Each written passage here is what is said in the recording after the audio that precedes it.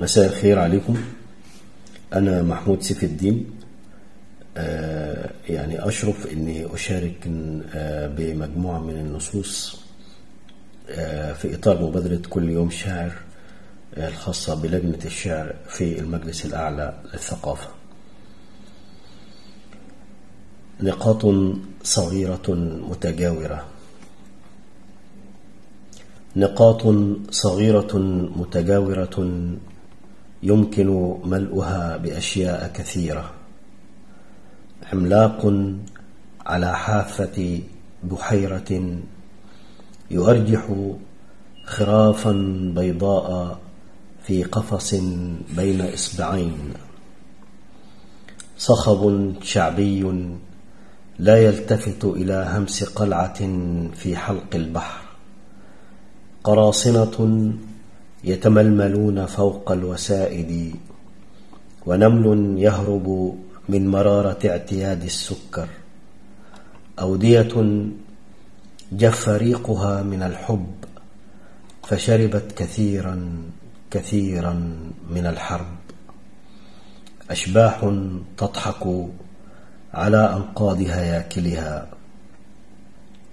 وردة تظن أنها عديمة المنفعة.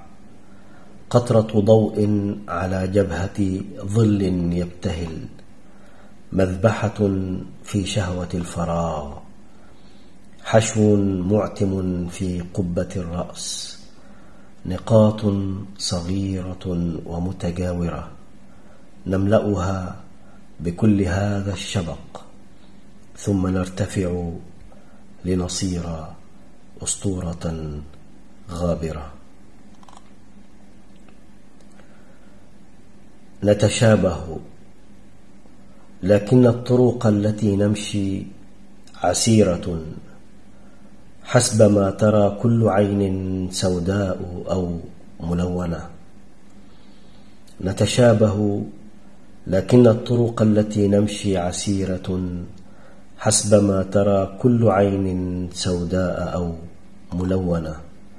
حسبما يتشقق جلد. وتستوي جوارح نتشابه لكننا نتشتت ربما لنلتقي. يصل الحب إلى المجد من خلال الألم الألم الذي يتساقط في نومنا لكننا نجده ذات صباح فوق الوسائد كفرد من العائلة يقول ببراءة مفرطة صباح الخير. ثم يرتفع كملائكة تتخفف من حقائب السفر. تترك العالقين بمطار الوحدة البعيد. يقود شاحنة الذكريات الضخمة بحمولة الأيام. لا يلتفت لقسوة الطريق التي اكتشفها ذات يوم. فقط. يمتن.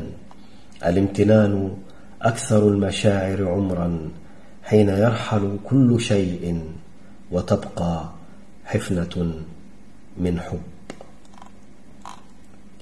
في مساء يشبه هذا ويشبه كل مساء سيكون في القطار كعادته.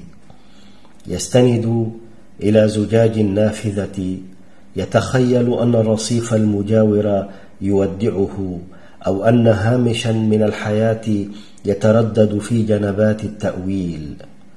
تنطلق الصافرة التي بلا دخان كما جاء في فيلم فرنسي قديم. غير أن الشتاء عزيز والدخان في الجوانح يطبخ عيون من رحلوا لتأكل الطريق. لم يكن الوقت وغدا أقل تعاسة من السفر لكن مع هذا سيرى كثيرا من القبعات الملونة الفساتين المنقوشة والأعشاب أغراض المسافرين فوق أكتاف تحجرت فيما يسمى بخيال المسافر حين يقطعه بائع المصادفة وصقيع التكييف الذي لا يهدأ.